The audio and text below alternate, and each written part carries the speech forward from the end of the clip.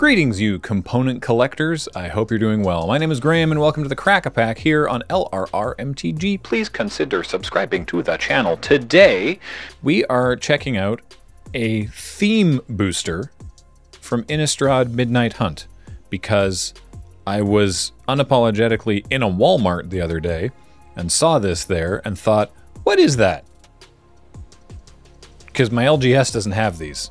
Also, I haven't been in my LGS in months, so maybe they have these. But they've never had theme boosters before, and I still don't really sort of know what to expect from them. The very, very small print on the back says includes one to two rare or mythics, 10% uh, chance of two, and 33 to 34 uncommon and common Midnight Hunt cards. 10% of packs contain a showcase card, full list of possible contents, magic.wizards.com slash product details. Also, because we're in Canada, there's a sticker that's been applied to it in French that uh, La chasse commence. Rehausez, re, votre deck grâce à 35 cartes d'Innistrad chasse de minuit, dont au moins une carte rare ou mythique. So in the French sticker says you get one, but the pack says you could get two. So, the French are being misrepresented. Anyway, it's I don't I don't actually know how it's packaged on the inside. That's mostly why I'm curious because it hangs like this on a peg in the store, but I don't know if there's just like what how it's packaged on the inside. Oh, weird. Okay. So the top from here up, it's just spacing to make it look nicer and more impressive on the shelf. And then at the bottom of it, is the security and the actual, there it is. The actual booster is just, is just this. So theme booster blue, I know that that means that they're all going to be blue cards. But I don't know, sort of like, it says 33 to 34 uncommon and commons, and I don't know what that breakdown is, but I guess we're going to find out. First up, Storm. I'm going to go through them fairly quickly, by the way, because there's 34 of them and I don't want to be here all afternoon. I mean, I'm going to be here all afternoon recording different episodes of this show, but I don't want to be doing this one all afternoon. Storm Rider Spirit, 4 and a blue for a 3-3 flash flying spirit. Very nice. Geist Wave, 1 and a blue, instant, return target non-land permanent to its owner's hand. If you controlled that permanent, draw a card. Dissipate, so that's one uncommon so far. One blue blue, instant, counter target spell. If that spell is countered this way, exile it instead of putting it into its owner's graveyard. Devious Cover-Up, Two blue blue, instant, counter target spell. If that spell was countered this way, exile it. Instead of putting it into its owner's graveyard, you may shuffle up to four target cards from your graveyard into your library. We didn't get to do the devious cover up loop in Midnight Hunt to the same extent that we did when it was first printed in Ravnica City of Guilds. Not City of Guilds, Ravnica Allegiance? Guilds of Ravnica? One of the recent ones. It's either Guilds of Ravnica or Ravnica Allegiance. It doesn't really matter. Shipwreck Sifters is next. One in a blue for a 1-2 spirit. When they enter the battlefield, draw a card, then discard a card, and when you discard a spirit or a card with Disturb, you put a plus one plus one counter on Shipwreck Sifters. Nebelgast Intruder, two in a blue for a 2-1 spirit with flash and flying. When it enters the battlefield, up to one target creature an opponent controls gets minus 2, minus 0 until end of turn. Locked in the Cemetery, one in a blue, creature enchantment. If there's five or more cards in your graveyard, you get to tap the enchanted creature, and either way, it doesn't untap. Startle! Ah! One and a blue for an instant. Target creature gets minus 2, minus 0 until end of turn. Create a 2-2 black zombie creature token with Decayed, and draw a card. Alright. Wait, this isn't blue. Crossroads Candle Guide. 4 mana for a 3-4 Scarecrow. ETB, exile up to one target card from a graveyard, and for 2 mana, add 1 mana of any color. So it could generate blue, so I guess we're giving it a pass. A second Nebelgast Intruder.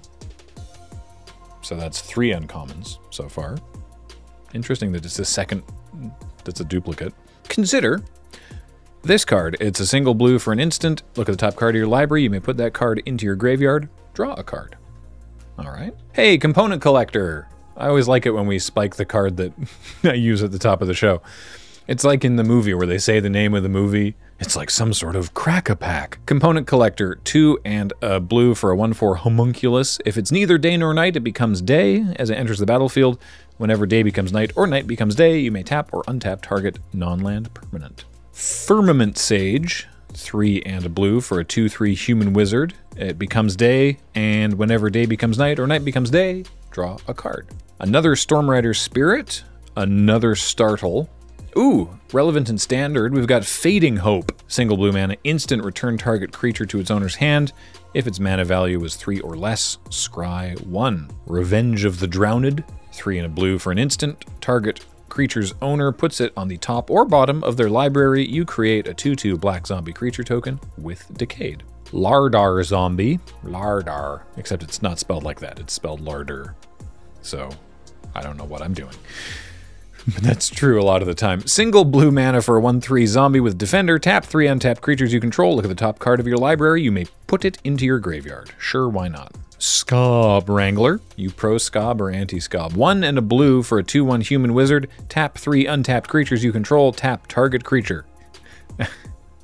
After Uda's hat boutique in Selhoff was destroyed by werewolves, she relocated outside of town and took up a new type of sewing. Do you think we are in any way responsible for the fact that someone is referenced in flavor text as having a hat boutique?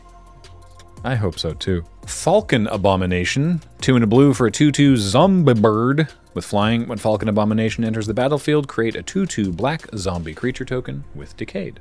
Flip the switch! Two in a blue for an instant, counter target spell unless its controller pays four, and then create a 2-2 zombie with Decayed. Vivisection. Three and a blue for a sorcery. As an additional cost to cast this spell, sacrifice a creature. Draw three cards. Sure, why not? Ominous Roost. The birds. Two and a blue for an enchantment. When Ominous Roost and Ominous when Ominous Roost enters the battlefield. when Ominous Roost enters the battlefield, or whenever you cast a spell from your graveyard, create a 1 1 blue bird creature token with flying, and this creature can block only creatures with flying. St- nice.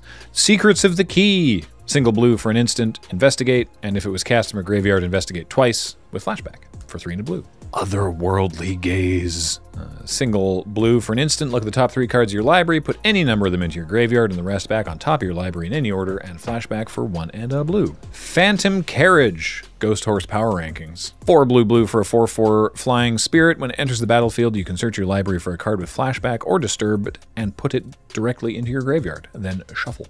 Another Geist Wave. We have an Unblinking Observer, 1 in a blue for a 2 1 homunculus. Tap to add blue. Spend this mana only to pay a disturb cost or cast an instant or sorcery spell. Sure.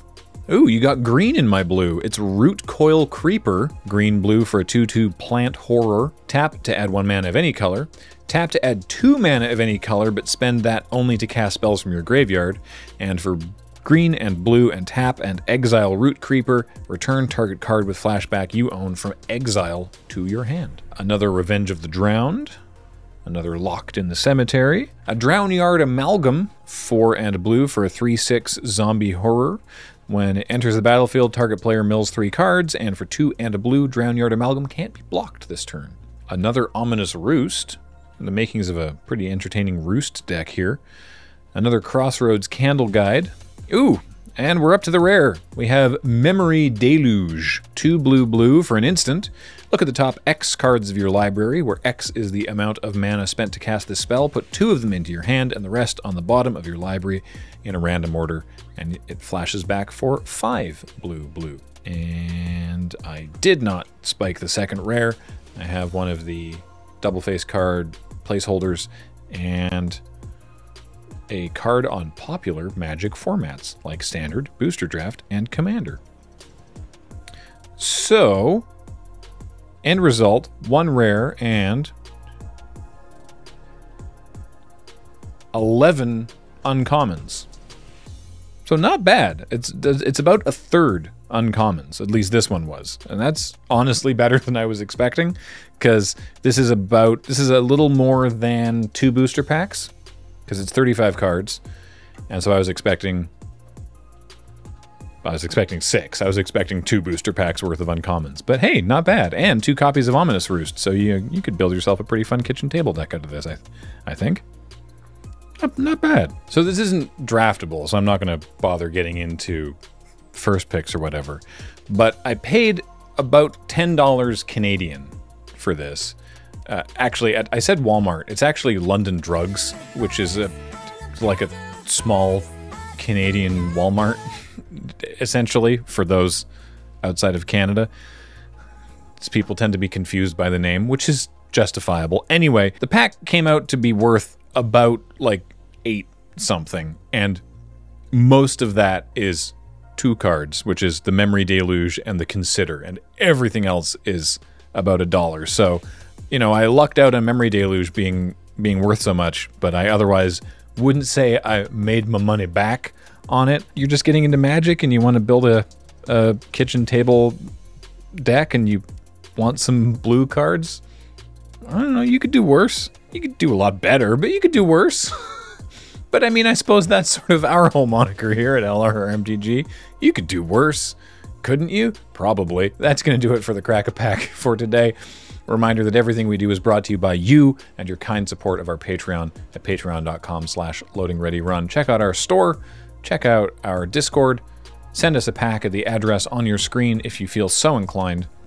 But until next time, thanks to James for hanging out and helping, for Matt for doing the edit, and to you for watching. So thanks, everybody, and we'll talk to you next time.